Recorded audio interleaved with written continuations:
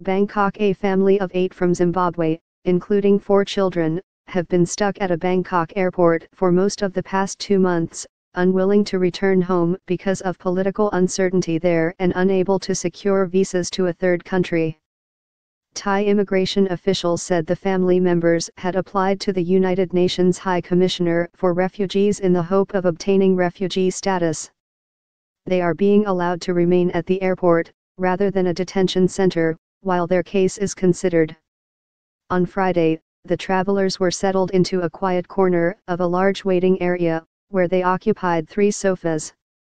Their luggage was piled on airport trolleys, and the children watched a video on a small portable device while the adults talked with reporters and airport personnel who stopped by.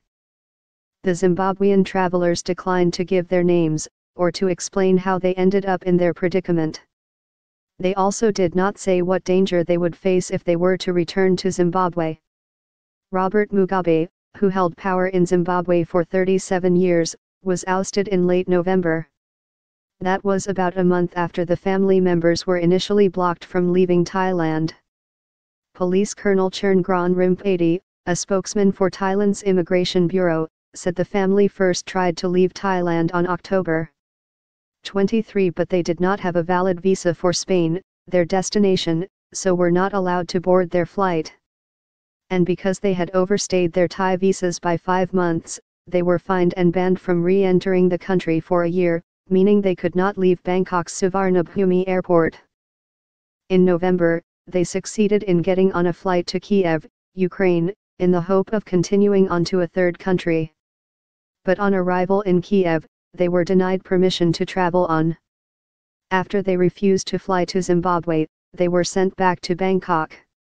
Now, unable to enter Thailand, or to board a flight bound for a country of their own choosing, they spend their time near the G departure gates, waiting for permission to leave.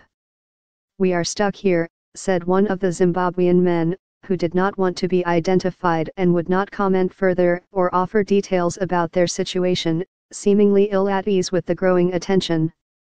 Their situation is somewhat reminiscent of the 2004 film, The Terminal, in which a traveler is left in limbo at Kennedy International Airport when his fictitious country's government collapses and he is left without valid papers. Their situation came to light on Tuesday when an airport worker posted a photo of himself with one of the children on Facebook and mentioned that the family was living at the airport. He also wrote that airport staff had been bringing the family food and gifts over the holidays as they remained stranded in the airport.